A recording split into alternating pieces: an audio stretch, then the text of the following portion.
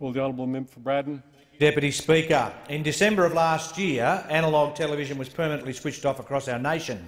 It marked an end of an era for some, but the residents on the west coast of Tasmania in my electorate of Braddon, it marked the end of reliable television services.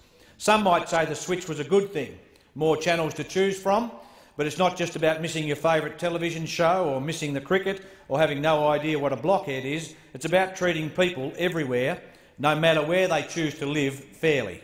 Yes, the west coast of Tasmania is isolated, but why does this mean they should be forgotten? Would it be left so long, Mr Deputy Speaker, if it was Sydney or Melbourne?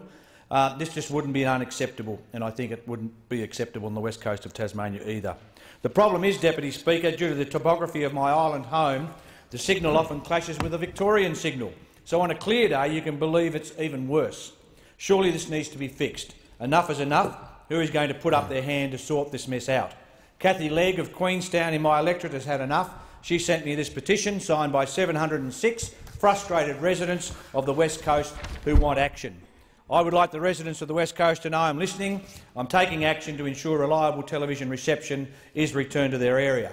Whilst this is not directly a federal government matter, I've written to all television stations seeking an explanation as to why residents are not having their concerns listened to, and I've sought a meeting with Free TV Australia.